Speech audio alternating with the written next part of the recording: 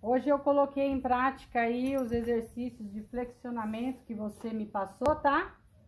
E ela respondeu muito bem, né? Quando você puxa aqui pra ela vir com a cabeça na paleta, ela tá vindo legal, tá molinha, tá?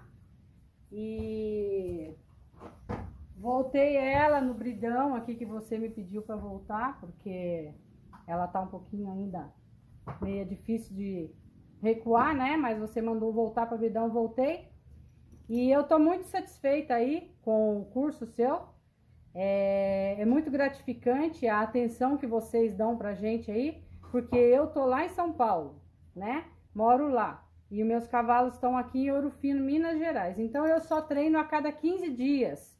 Isso ainda quando não chove, né? Porque às vezes eu chego aqui, chove, ou por algum outro motivo não dá tempo de treinar os cavalos, né? Mas o pouco tempo que eu tô tendo para treinar eles, tô tendo um resultado bem legal, tá? É, o seu curso aí tá fazendo uma diferença bem legal para mim, tá bom? Ela, eu tinha um pouco de cisma de medo de montar nela, né? Porque é, tá domando agora, né? Tá nova, né? Mas com as técnicas que você me ensinou aí, já não tenho medo mais, porque eu já sei como fazer para ela não pular. E de imediato é isso aí. Só tenho que agradecer. Um grande abraço para vocês, tá bom? Beijo.